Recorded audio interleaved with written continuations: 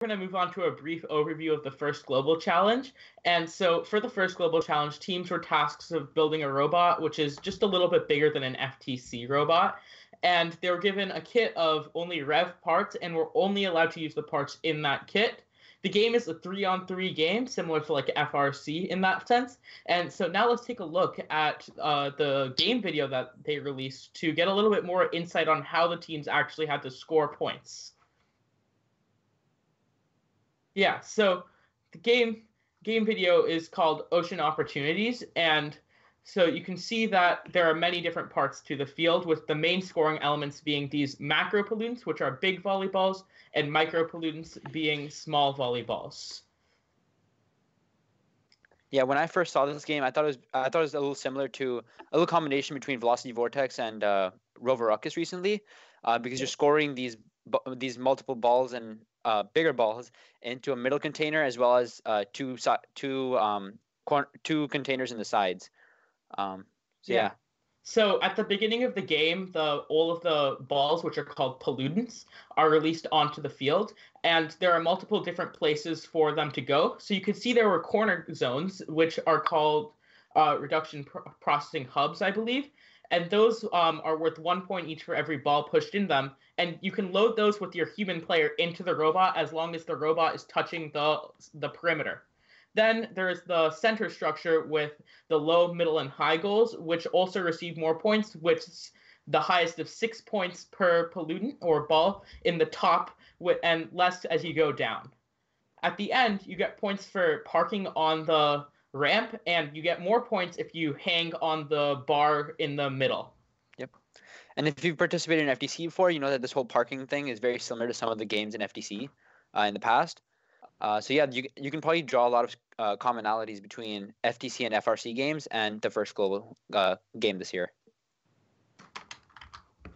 Definitely, and you had um you had pointed out that uh you thought it was similar to Velocity Vortex and Rover Ruckus, and it mm-hmm. definitely ended up being played like that at the competition. You saw a lot yeah. of shooters like from Velocity Vortex, and then some of the best teams were the teams that could actually use a like linear slide and go up and dump, and that was also very similar to Rover Ruckus. So one a few things about the game that are just rules that weren't mentioned is that there's no limit to how many of the pollutants a robot can hold, how many balls a robot can hold.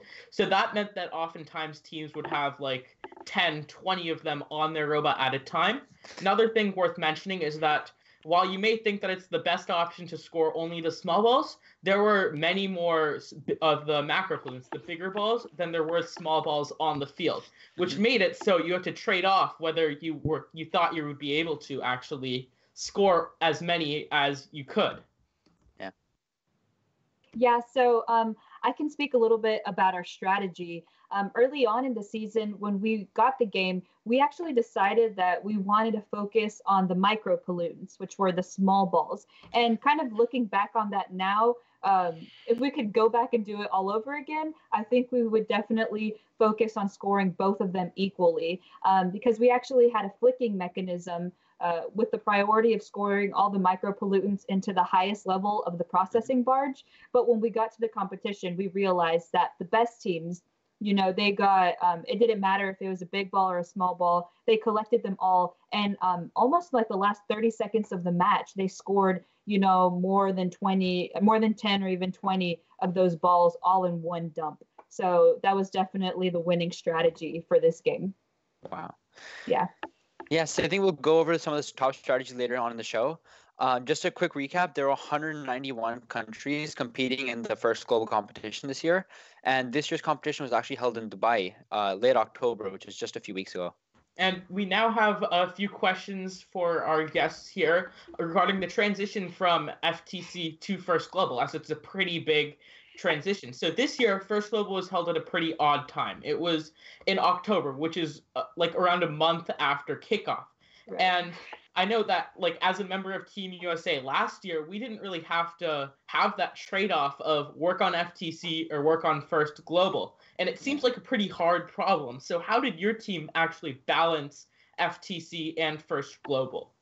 So, so or, uh, just yeah. to start off, um, so it was actually kind of funny because when we got, you know, um, when the game was released and everything, during the summer, we actually had like uh, Bryant and I and one other team member actually went to Arkansas Governor School for an entire month. So that was like a month where we couldn't be working on robot. We weren't uh, working on any mechanism, strategy, preparation, anything like that. So Bryant and I missed that experience. Uh, so it definitely gave some more responsibility to other members of our team who aren't usually like responsible um, aren't like uh, overseeing the entire robot development process during our regular season. But I can definitely say that there are definitely lack of uh, manpower. We usually have a lot more people working on our robot during the regular season. So we had to adapt, um, and we especially had some new team members come in during the summer, and they did an amazing job of learning quickly how to do, you know, FIRST robotics. So extremely proud of them, but it was definitely a challenge. Yeah, we um we use this opportunity also to help some of our rookie members um learn some of the things about the engineering design process and about the robot and about the control system and things like that. And so we were able to get some rookie members that may have not been able to go to Dubai, but they were still able to help us um, with the robot. And then also during that period, me and Abby were gone. We did that. And then the um, the way that we that our team chose who was going to be the five going to Dubai, that was uh, so we did it based on seniority on the team, and so me, Abby, and Sarah were all founding members of the team, so we've been there since day one, and then um, the t- two other people, Megan and Kat, they were both they've both been on the team for the longest amount of time after that, and so that's how we chose who was going.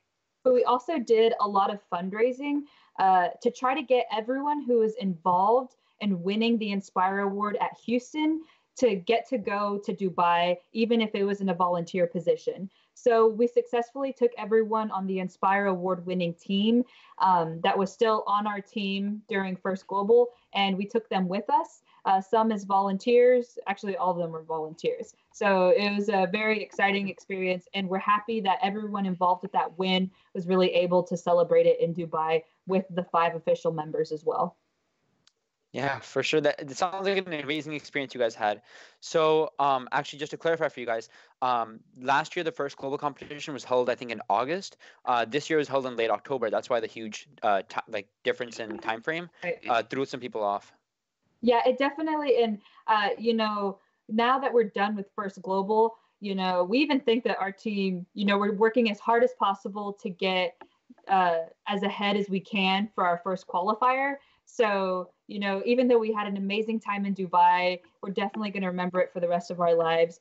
We are definitely shifting priorities now to making sure that our robot, our engineering notebooks, and our judging is all ready for this season, which is actually going to be the last season for a lot of our team members because a lot of our team members are actually seniors this year. So mm. we're trying to go out with a bang. Do you feel like you're a little bit behind this year in FTC just because of the first global? For sure. Um, yeah. so much of our efforts, especially with this experienced team members, were specifically on first global because we had gotten pretty behind there also, and so it was um, it's it's definitely been getting back. It's been a struggle. We're still working really hard. We worked an extra meeting today just to just so we can try to catch up before our first competition. Yeah, another thing that like you know, I'm pretty sure a lot of like seniors on FRC and FTC teams can relate to is, you know, a lot of us are actually trying to get into college as well and like plan our futures. So that's kind of important. But we also had to build like two robots for the past couple of months. So it was a very stressful experience. Um, but, you know, we're happy we did it. But, you know, now we're shifting all of our focus to try to be as competitive this year. So Oh yeah, I can imagine. It's just it's hard enough building one robot and building two with college yeah, apps and everything on top of that. Yeah. oh yeah. Um, so another thing is, what was your transition like from building an FTC robot to building a first global robot? Because th- there's a lot of difference between them. Because first global robots, you're limited to that one kit of parts, and I know that your team uh, uses a ton of custom parts on your actual first FTC robot. So how did you go through that t- transition? What were some of the difficulties you faced in that? So, so I think timeline wise, um, our, our team actually spent a lot more time in the prototyping phase than we ever did any season um, during FTC. So because we were constrained to that kit of parts, we wanted to make sure that we had you know, we tried, tested as many configuration of shooters. I know we tried flywheel shooters, we tried flickers, and you know, we wanted to make sure that we made the most informed decisions with what we had in the kit of parts. Yeah, and it was definitely a new experience for our team to work with a kit of parts because except for our first year, we've almost done all of our robot custom. And so that was definitely different and we definitely struggled with also not only being limited to what parts you could use but also how many of them. Uh, the um, kind of a funny story is the last day before or two days before we left for competition we realized that um we had 11 master links on our robot when you're only allowed 10 and we like we knew they probably weren't going to check but we still wanted to make sure we were abiding by the rules and so we had to we had to redo some some chain for that and so yeah another fun fact was uh, actually all of uh, the kit of parts came in like this plastic container and uh, we decided that we wanted to make our like main mechanism our flicking mechanism we wanted the flicker part uh, to be made out of the plastic from that container. And we didn't realize that it was illegal to use plastic from that container uh, about um, till a week away from Dubai. So we also had to make some like pretty significant changes uh, to some of our mechanisms. You know, just like whenever it came into crunch time and we were counting, you know, how many parts we needed to be legal. Um, but I will say there is definitely a lot of flexibility when it came to legality of parts at the competition. So I don't know if we would have we should have worried about it as much as we did, but um, yeah. Yeah. Yeah, and and that's during the FTC competition season that you guys were replacing and changing up all your attachments. So that's right. a lot of crazy work. Yeah, and FTC is definitely like so much more strict about like inspection and things like that, which we weren't really um, expecting. Because you know, at FTC, you know, if you don't fit it, fit in that sizing box or you have one too many components, then you can't compete. But at First Global, I think they were trying to get as many teams to compete as possible. You know, no matter what they had. So it ended up being okay. Yeah, so we never, we actually, we never passed um, control inspection at Dubai. They never, um, so when we, uh, we had our, we had one of our, we had our control hub die about halfway through working, and so we bought a yeah. new one just from Rev, and but as but that control hub came with the FTC SDK or yeah SDK on it instead of the first global one and since the global one isn't public this year we um we had the, we just kept our FTC SDK on it, and it's that ended up um that wasn't allowed. But then they're like, oh, it'll probably be okay, and the inspectors never came back, and so we never got our sticker for control inspection. But they let us play, so that's yeah, didn't matter. yeah. Uh, so moving on, I I I know uh well, a few questions about Dubai and competition. We're already on that topic. Is do you feel how was your experience in Dubai, and also like do you feel like the robot side of the competition was taken more seriously than in an FTC? Because like I know this is something that like is like a big thing in about First Global that everybody thinks about it is that like the robot doesn't matter. I want you to I want to know from you, do you guys feel like it was actually taken like really seriously or was it just like a side part of it for the actual experience? I'll uh so on your so on your first question about Dubai in general, so first of all the facilities were amazing and everything was super nice there. The hotels were great. And so that was that was an awesome experience. We didn't get to do a ton of sightseeing because our uh, our flight it's kind of a long story, but we ended up flying out of Houston instead of Dallas, and so we had to take a bus uh, from the Dallas airport to the Houston airport, and then we were, we ended up being about eight hours late, so all of our sightseeing time kind of got eaten up by that. But the city was great and amazing, and then on um on your on the side of the robot things, I think in general the competition was less like competitive. Everyone was there just to meet new people, have a good time. It was a lot of collaboration, things like that. And so it was, I would say it was less competitive in that sense, but I would also agree with you that it was more focused on the robot than judging than FTC is. There were judging, because judging happens all in the pits in First Global, and you only get like maybe 10, 15 minutes with the judges. And so there can be a lot of discrepancies in judging. So people were definitely very focused on what the robots were doing and who was the highest ranked in the robot game and things like that. Brent, I I, I, gotta ask you a question real quick. um, How long was yeah. Dean's speech? So Really short. It was the shortest I've ever heard. So that's true. That his speech during opening ceremony was very short, and then his closing ceremony speech, most people weren't there for because they had people start unloading after the robot game ended, and that was while he was speaking. So like we didn't even get to like hear him speak because we were unloading all of our stuff back to the buses while he was speaking. So Mhm. I thought the order of events there was a little bit interesting, but Yeah. Nice.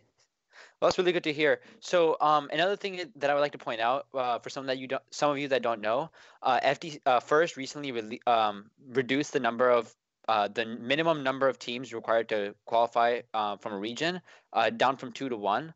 So some of the some of the competitions uh, this year, like state some of the state championships and stuff, um, they're only sending one team to Worlds, which means that that's only the Inspire winning team. So that's that sort of prompted the question that um, first is sort of shifting their focus more towards awards and maybe like intuitively less away from robots. So that's why uh, we were going into the depths of um, why First Global might be focusing more on robots. Uh, so that was an interesting comparison between the two um, that that's happened recently. Uh, so next, and I think we're one gonna. thing I would like to add to that was that you know at the event there was also even though it's a requirement that one person on every team had to speak English, there was definitely still a language barrier there, and you could tell that the one thing that everyone could really bond over and easily understand was the robots. You know, so I think that's also why you know, they didn't have a big focus on judging or awards because really the one thing everyone was there for that everyone could agree on was the robotics tournament. So I do think it was emphasized a little bit more than people here tend to think. Yeah, and that's and that's really a great way to bring that international community together. Yeah. Mhm. So I think So- next, yeah, next we're gonna go a little bit into the competition. Uh, so we're gonna get into a little bit of some of the match play that went on uh, during the competition itself. Uh, the winning alliance of the competition was composed of uh, teams Belarus, uh, Moldova, Norway, and Team Hope. Uh, the finalist alliance was made up of teams Israel, uh, Italy, Australia, and Team Uganda. So that was great to see. Yeah. Uh, so Team Hope is uh, actually refugees. So it's one of the special things that First Global does is they have a Yeah. team comprised of only refugees, and their their stories are just great. If you ever have the chance to talk to them and go to a First Global competition, they're one of the teams you always want to meet. Yeah. And so it, Absolutely. In First Global, there's also judged awards, with the Albert Einstein Award being the most prestigious of the awards. So this is essentially the equivalent of the Inspire Award, for example. And so the third place went to Team Germany, and the second place went to Team Tunisia, and the winner went to Team Guyana. So now we're just going to go over a few of the matches. So we're going to go over first qualification match 232, which was one of Team USA's best qualification matches. And so let's see. Asher, do you have anything to add? Uh, yeah, I just I uh, I was just I just want to point out that it's qualification match 232, and that sounds like a huge number. And for the first global competition, actually had a huge number of matches. I think it was in the hundreds. Do you guys know the exact number of matches? I'm not actually totally sure. I Is it 280? yeah, I think That- it was like it was do math.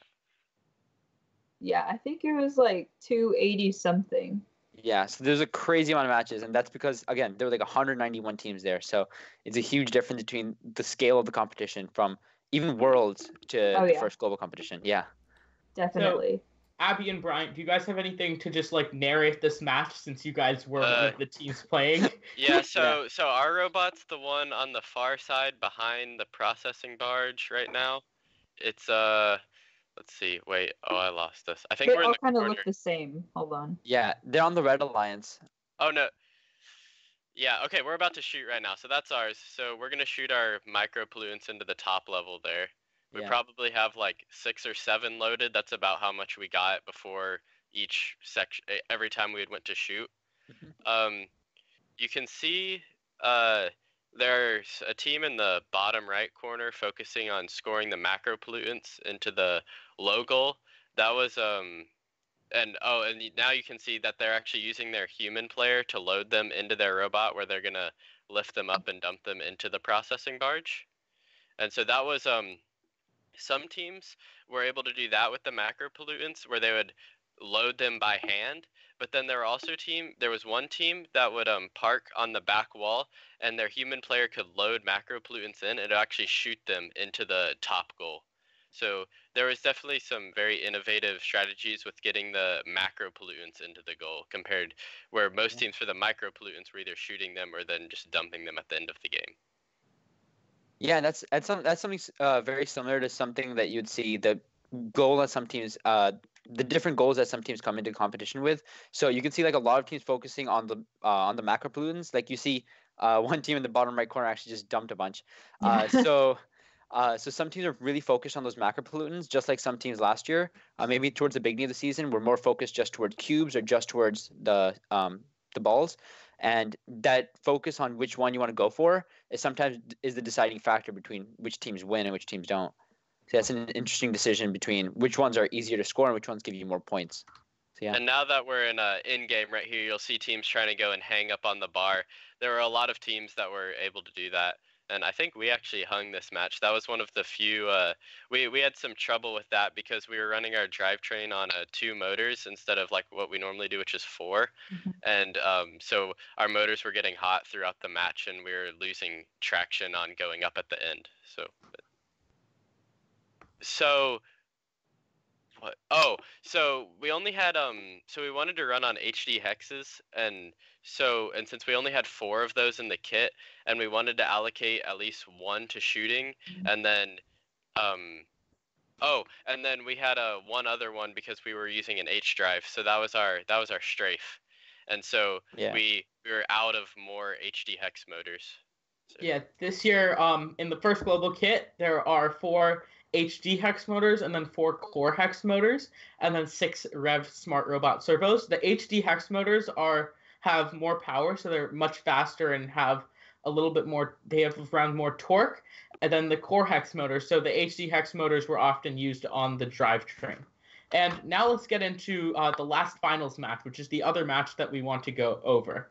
So a few strategies that you're going to see is that right now near the beginning of the match, uh, all the robots go around and just collect balls throughout the whole match. So let's um, roll that very soon so you can see all of the pollutants have been distributed throughout the whole field. And there was You Dean can- came in.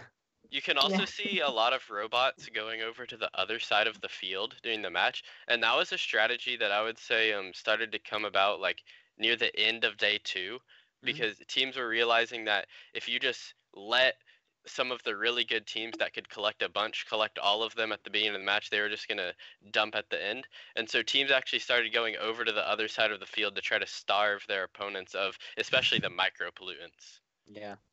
Especially since those micropollutants are a lot smaller, um, they're a lot easier to pick up. So it's easier to pick up a lot more of those. Uh, so when you're able to get that quantity, uh, especially your opponent's uh, micropollutants, it'd be easier to intake a bunch of those at the same time and sort of hoard them till the end of the match to prevent your opponents from scoring. So that was an interesting uh, defensive strategy we saw. One of the more interesting robots in this match is actually Team Moldova, which is on the Red Alliance.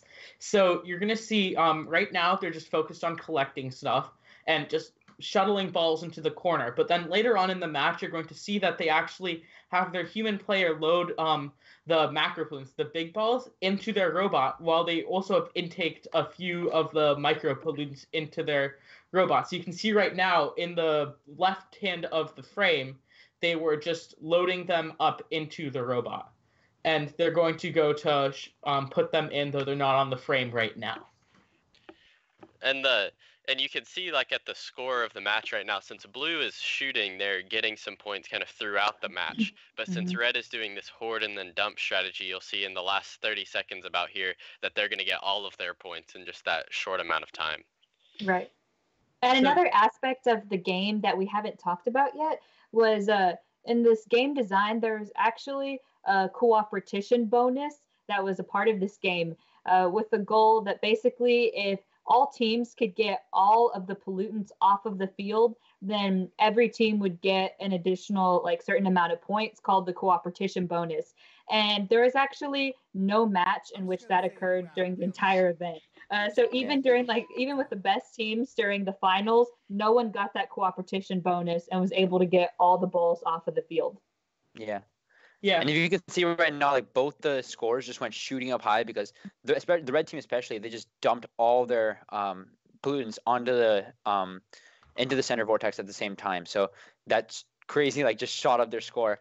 And again, the hanging thing I really want to emphasize is really really similar to Rover Ruckus. So You can see a lot of comparisons uh, between um, FGC games and uh, this year's FGC. Yeah. So a few other things. Uh, so the red the Red Alliance eventually won the finals, which was uh, best of three matches. But you can see that I believe in this match, which is finals match two, to my knowledge, uh, the Blue Alliance actually it's this is three. Yeah. Um. So this one, the Red Alliance won. But some things you're going to notice is that a lot of times teams miss their uh, pollutants from the goal. And so the micro pollutants, especially, you would see that some teams would actually just dump their micro their macro pollutants into the goal, and then it would the micro pollutants would just bounce out, which yeah. happened a lot and makes a pretty big difference. For example, I believe some teams it might have made the difference of a few matches because that top goal is made out of net.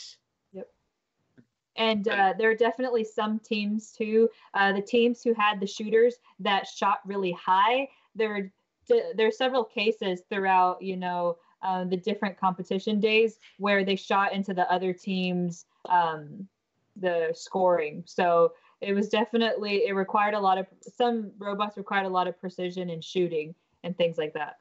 And I, I, like how you mentioned the net because actually, if you look in the reveal video, you'll see that there wasn't a net. Yeah. And I think, and so a little bit throughout the first global season, they actually changed the the game manual so that it, or like the setup guide so that it included a net. And I, I think that was because teams were noticing that balls were bouncing out too easily when they were shooting them in. Right. Can you guys talk about a little bit on how the playoff structure works for First Global? Because if I remember in previous years, you just kind of randomly got assigned with teams. Was that the same thing for this year? Yeah, it was not the same this year. So this year, um, after all the qualification matches, last year I believe teams were ranked based off total points scored. Is that was that correct? Yeah. Yeah. Okay. Yeah. and um and so this year it wasn't it was ranked exactly or it was ranked like ftc kind of how people hoped it would be. It was so it was ba- it was the first um ranking was your qualification points so two for a win one for a tie zero for a loss. And then your um your tiebreaker points were based on how many points your alliance had scored throughout the competition and adding that total up. And then after that, the top 24 teams were put into alliances in um in I guess you can call it a uh, so so one was paired with number 9 and then 2 was paired with 10 three was paired with 11 and then the third alliance it kind of snaked or the third partner it kind of snaked back and so that means one was with 8 and 24 and then mm. and so they they went through that pattern throughout and then your fourth alliance partner was completely random out of someone in the competition. So, so and, i got to follow yeah. up on that because that, that's a concern that's been brought up when people have brought up models for things is couldn't they couldn't a team theoretically then manipulate the score to get a certain ranking to be paired with somebody else then? They i believe theoretically yes. I don't know if that I don't know if there was yeah. that much thought really put into. I mean, there could have been, but we definitely were not considering trying to do or didn't hear anything about that. Yeah. Yeah. Mm-hmm. So I know like last this this year's is much better. Like last year's, um, it was random completely for the playoff matches, and it was just an elimination best of one match, and you just go up the pyramid. But the alliances were completely random. So like number one was paired with like number three, and they just dominated all their matches. Right. This year, it seems a little bit more fair to all the teams.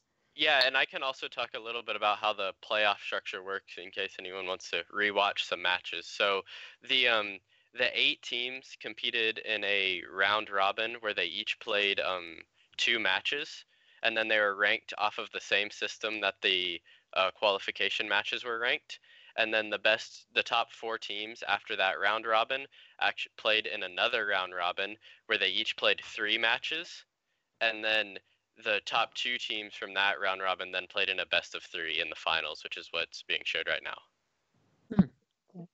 Yeah. And I could say one of the highlights, because um, unfortunately we didn't get to play in the elimination matches, but it was just a great experience sitting in the stands. You know, the energy with everyone there. People were like cheering so proudly for their teams. And you saw people from all over the world like waving their flags in celebration of their team and their alliances as well. So, you know, just sitting back and everyone was definitely on the edge of their seats towards the end of the elimination rounds but it was just an amazing experience either way. So it was pretty cool. I, I, do have to ask one other question as this goes to a full frame in a second. There's something to me that uh, everybody seems to be missing.